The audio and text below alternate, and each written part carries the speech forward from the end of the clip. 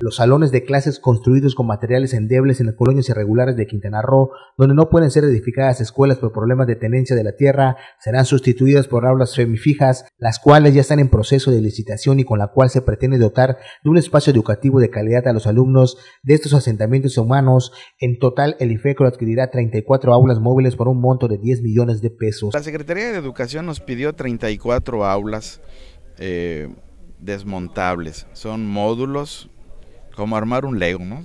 Armas secciones y armas un aula. Estas eh, apenas estamos en proceso de licitación y van a ser utilizadas en colonias donde la tierra no está a nombre del gobierno del estado, Chetumal.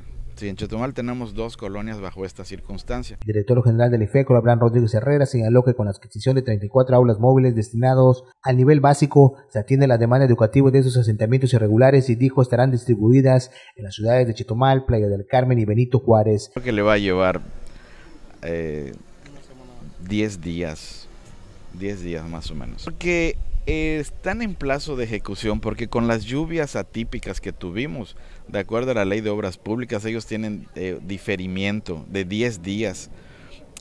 Sin embargo, las otras empresas hicieron el compromiso con el gobierno del estado y con nosotros y se apuraron trabajando doble. Añadió que en el caso de las cuatro aulas que faltaron por concluir de las 101 proyectadas, aseguró que serán concluidas en un periodo máximo de 10 días, ya que las condicionantes meteorológicas impidieron se concluyan en tiempo y forma. Para Notivisión, José Palma.